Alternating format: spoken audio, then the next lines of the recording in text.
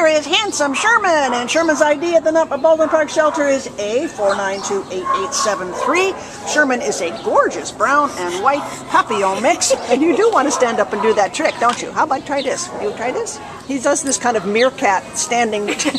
okay, there's your chicken. See, he is really a sweetie pie. He's very young, only about a year old.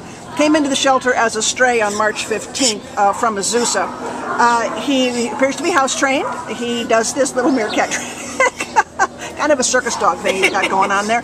Um, he is um, he needs a little bit of leash work. He pulls a bit. He kind of kind of wants to go his own way, but he's a puppy. That's probably explains that. But he is he takes treats very gently.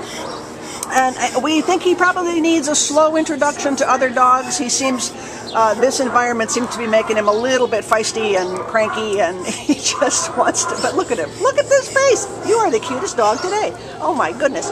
But this is a dog that's probably going to need somebody with a little bit of patience, and uh, you know, anybody who gets a puppy is, needs a little bit of patience. But he's going to need a, a, a, a hand becoming the wonderful citizen that you're going to be, aren't you? Oh my goodness. You're good.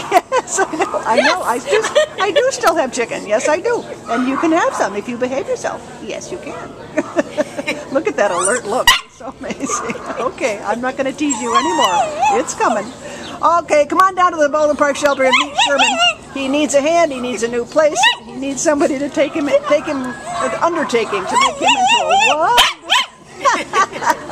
what else you got to say? Oh, what a sweetie pie. Come on in and meet, meet Sherman at the Baldwin Park Shelter.